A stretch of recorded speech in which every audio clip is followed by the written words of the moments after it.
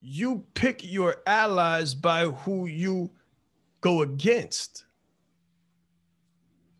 Sometimes people choose allies first. They tend to lean towards the strength, and whoever their friends identify as the enemy now becomes their enemy, but it's not really their enemy, it's their allies' enemy. And now they're caught in the crossfire of something they have nothing to do with because they just ha- they just wanted to be down.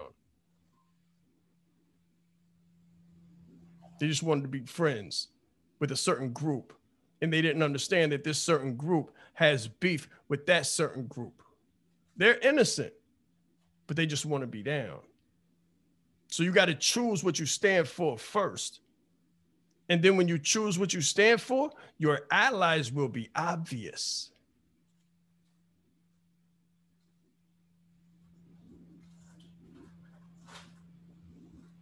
Thank you for that, James Setter. Thank you so much.